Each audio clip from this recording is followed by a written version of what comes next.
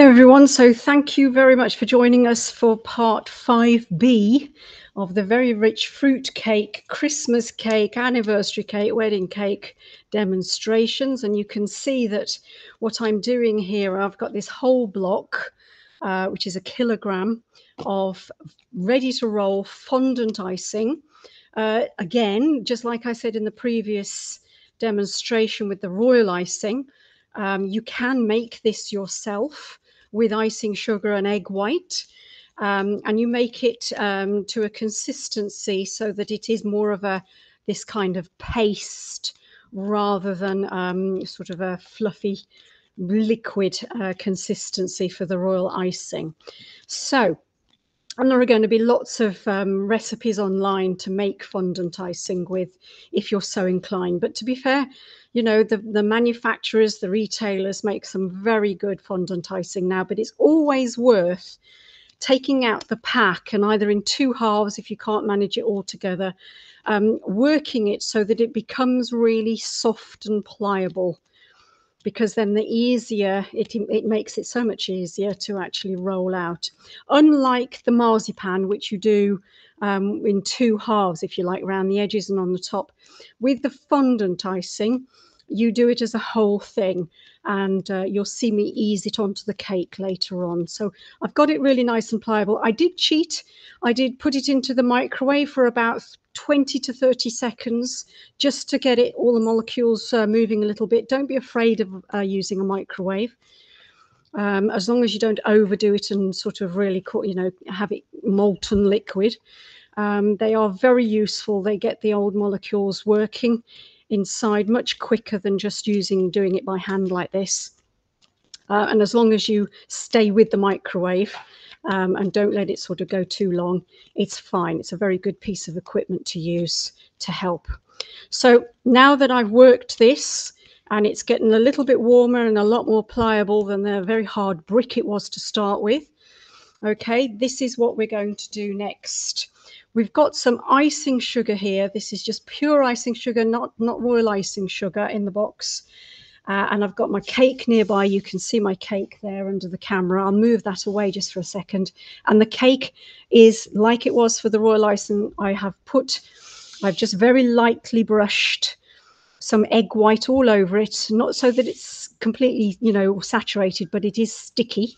Okay, and I'm using my sieve, sieve to just sift um, quite a lot of icing sugar over the table, okay, because this is going to grow quite large when I start rolling it out. So I'm going to put the icing on the top and I'm going to sift some um, some of the sugar on the top as well. And I've got my rolling pin and I'm literally going to roll it out nice and flat. And every so often just check that it's not sticking to the table because that's its favorite trick.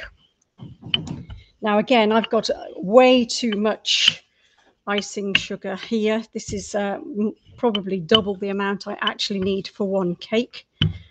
However, quite like a, a thick layer of icing. So I'm just rolling it out and the, the, the width that you want is if you take the cake and you can use a ruler here and measure. So that's about eight, seven or eight centimeters by that much, which is about 20 centimeters plus eight. So you're talking about what 28, 36 centimeters. That's about a ruler. Um, an old rule. There we go. It's about that kind of size you want to roll it into. And the thicker you have it, the easier it is for the next job. Now that I know that I've got at least as much as I need rolled out, I'm now going to take my icing and I'm literally rolling it. And as I say, if this is thick, which this, this icing is, it makes life so much easier when it comes to putting it on. Now I'm going to get rid of that, move it out of the way um, so that I've got a clean area and I'm going to wipe the board off, I'll wipe the, the table off like so. Unlike the marzipaning that you do on greaseproof paper, uh, as long as you've got plenty of icing sugar down, it shouldn't stick to the table. And now I'm just going to clean the table off a little bit so I can get my board on without it creating too much mess. There we are. And I'm literally now going to just drop the icing. Whoops, wait a minute, it's started to. And I'm literally going to just take the icing and just let it drop over. Now, if you've got any holes that arise now, do not panic. Okay, what I'm going to do, you can see me under the camera here, just easing very gently the icing into the cake and down to the to the edges, down to the to the board, like so. And if you have cracks appear, don't worry, because literally, very very gently, softly rubbing over with your fingertips, just literally blends those away. It's that simple. If you create any holes or areas where it's not got any icing, you can literally cut off the excess and weld it into place. You can use a little bit of um, of egg white to do that with. And I'm pushing the icing in so that it's making a really secure sort of connection and using my the, the palm of my heel of my uh, palm there i'm literally pushing it in to make it a really nice snug fit so i'm packing it in it's a nice thick layer of icing and i'm packing it in I've got lots of excess on this side, but that doesn't matter. You'll see what I do next. And make sure it touches right down to the bottom of the base of the cake, like so. Um, let's lift that up and just ease that in. Just you, with your hand, cupping it round the corners if you've got a square cake, like so. And literally just push it in like so so that it touches. Now we've got a little bit of a flap there. That's a bit of a an overlay there, but that doesn't matter because as long as you very gently rub it round in circles very lightly, any lines will disappear like so. So now that we've got it connecting and we've literally very gently sort of pushed it onto the egg white and the egg white acts as glue, okay, we can now start trimming. Okay, so we've pushed it down. We've, it's flat up against the sides. It's stuck well to the sides. It would be very difficult for you now to try and lift that off.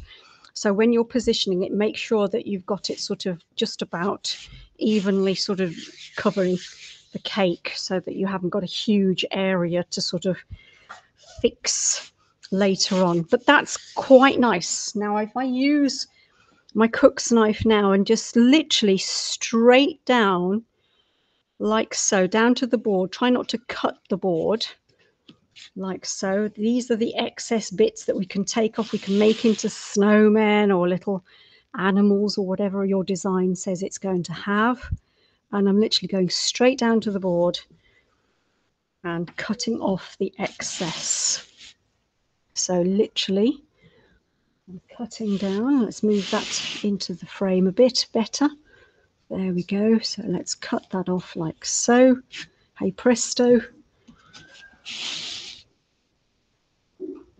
And there's the last one like so. So we've got rid of the excess now and I can put that into a freezer bag, uh, wrap it up in polythene, cling film, whatever you like. Uh, and that will be good um, you know, for when I want to decorate something else or put another layer of icing on something else in the future. It will certainly last in your cupboard uh, or even your fridge if you want to keep it in a bag in a fridge. Okay, and that can be used uh, for later on. So I'll move that out of the way. That's a little less than half of the block. So I have used just over half of the block. Now that what you do is you are now trying to get rid of those lines where you either folded or where there's a crease in the icing. So I recommend um, getting some of the icing sugar on your fingertips. And literally it is now just spending a few minutes literally just rubbing. Try not to press because you'll create like an indentation in the actual icing. But sort of over little lines like that, just literally very gently keep running, rubbing your, your finger over those lines, and they literally disappear. So I'm going to get a little bit more of, of the uh, the sugar on the top, and I'm literally rubbing it and getting rid of any sort of uh, imperfections, if you like, in the icing. If you want it absolutely perfect, like so. And I'm going to turn this one into a present later on with a big sort of bow on the top. So I'll show you a little technique in the future about how to decorate but you will need ice uh, you'll need royal icing if you want to do any pipe work it's royal icing that you use not fondant icing this is fondant icing and it gives you a beautiful sort of flat smooth finish of a cake uh, so what I'm going to use now is the side of, of my blade and I'm literally just tucking under there we go, tucking under the icing so that it's a nice smooth finish. So that's one side that looks pretty decent. It's lovely and flat on the top, but you can make sure it's absolutely perfect by just rubbing over it. Let's turn it round.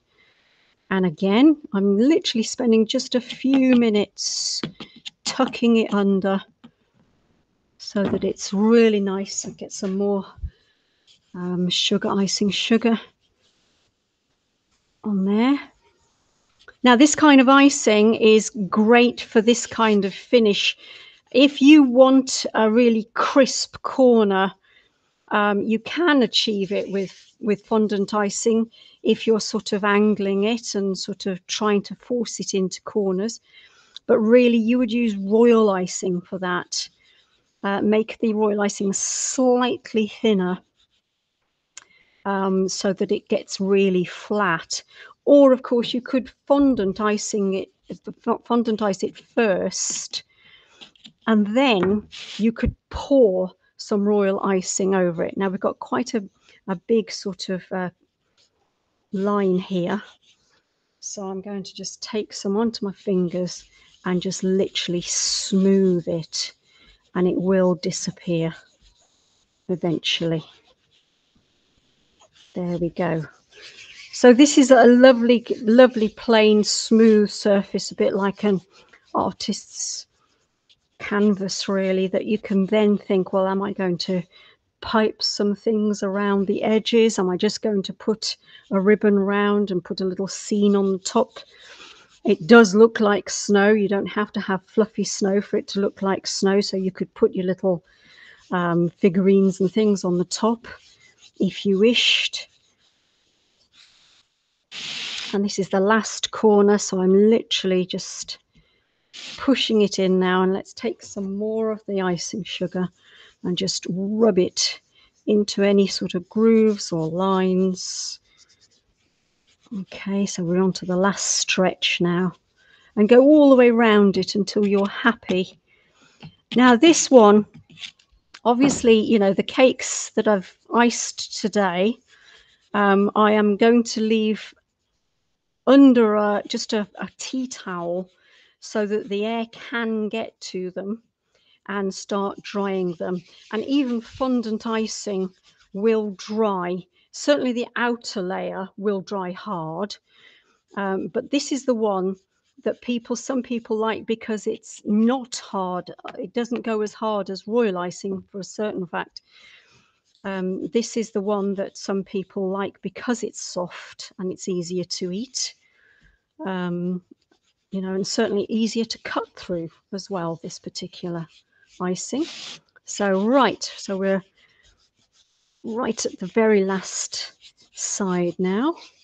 So get some more and let's really just just rubbing over and over very gently and it'll get rid of any of the lines any of the cracks over the edges and the corners and make sure that you're happy with it before you finish and that will be done There we go, the last corner is there.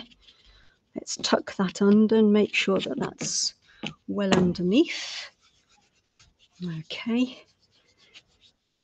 And uh, you know this this kind of icing you can you can rub it to sort of mask any imperfections in the marzipaning underneath as well. So you can uh, get it nice and straight if it wasn't quite as straight as you'd hoped.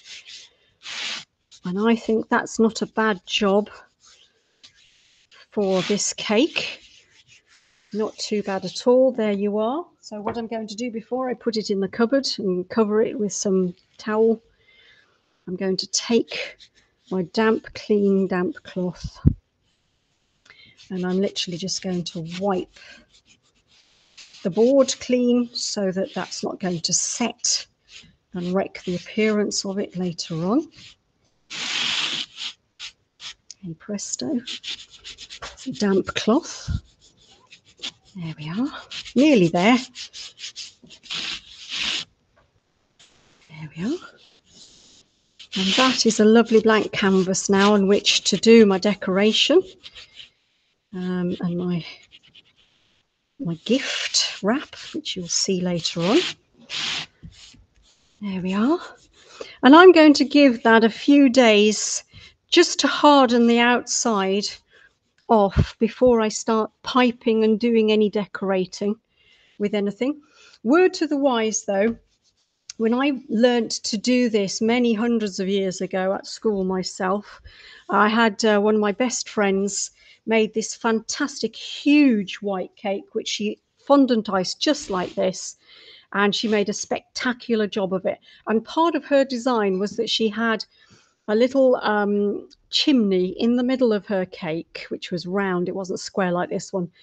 But she, she made a little chimney out of marzipan and she made a little Santa to stand next to it. And she wanted to put a little um, ladder up the side so that it looked like Santa had sort of, you know, gone up the ladder and walked to the chimney. And so she used um, the ends of some of some teaspoons, smaller than that, um, to create little indentations so that it looked like footprints had gone into the middle of the cake. Because, you know, this is the thing about fondant icing the outer layer will set, it will go hard. So if you want to stick anything into it, if you let it go too hard for too long, when you push things in, it will crack and it won't look very good. So be mindful if you use fondant icing and you know you're going to be pushing things into the icing, do that before you put it in the cupboard to set. Okay. Um, so that you you've then got those imprints or those areas where you're going to stick things, candles or whatever, they are ready to just put them into, and you don't have to press and crack the outer layer of the, uh, of the actual cake. So that's it. I'm not going to put any indentations in mine. I'm going to do some icing on the top of mine, which is which comes later. So mine is ready now to, to put into the cupboard and leave and for a few days until I, I decide uh, what decoration I'm going to put onto it. So there you are, folks. So that was two different types of icing of a very rich fruit cake. Um, good luck with your efforts. And the last one will be uh, the last episode of this will be episode six, which is basically how to finish them off, decorate them, and different ideas that you can do with them. Anyway, thanks for now, guys. Bye.